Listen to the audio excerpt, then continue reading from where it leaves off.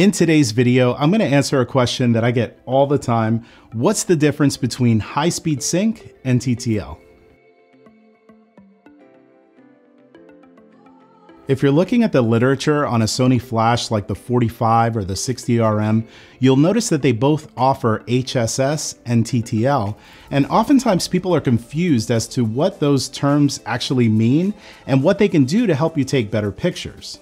Today, I wanna give you a crash course into what these technologies do so you can know which one to use based on the shooting situation that you actually find yourself in. We'll start first with HSS, which is short for high speed sync. This is a feature that addresses a limitation in flash photography that you'll no doubt run into at some point when you use a flash. Pretty much every camera that you can think of has a maximum shutter speed where the camera and the flash can actually sync together to make a complete exposure. For most Sony cameras, it ranges anywhere from 1 160th of a second to 1 400th of a second. Where you're using a flash and attempt to exceed those shutter speeds, you'll end up seeing some or all of the shutter curtain within your photo. That's because the shutter curtain moves so fast that the flash isn't able to illuminate the entirety of the sensor, and depending on how fast your shutter speed is, you may not actually get any light onto the sensor at all. With that in mind, high speed sync is a feature that allows you to shoot at shutter speeds above your typical flash sync speed limits, hence the name high speed sync. When you enable that feature on your flash, you're then able to choose, let's say, 1 2000th or even higher of a second for your shutter speed and still have an image that is properly illuminated by your flash. You might be wondering how exactly does that work? It's kind of brilliant actually. Normally when you're within your normal sync speed limits, your flash will only give you a single pop of light from your flash, which as we talked about, lights up the entire sensor. When you're in high speed sync, however, the flash will actually fire multiple times, almost like a stroboscopic effect, so that as the shutter curtain opens and closes, the sensor is being peppered with light. It's a really novel way to overcome the limitations of syncing your flash with your camera. High-speed sync does have some disadvantages that you'll want to be aware of.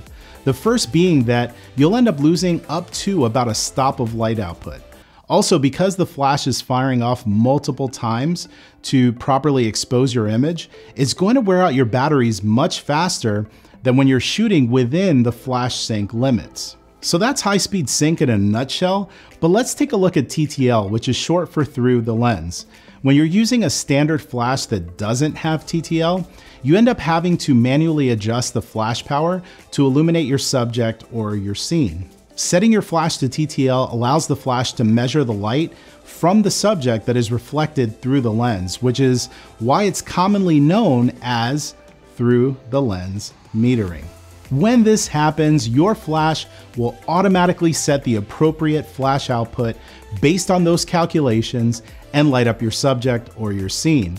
An easy way to think of TTL is likening it to an automatic flash. It calculates how much light is needed and then it takes care of the light output from there.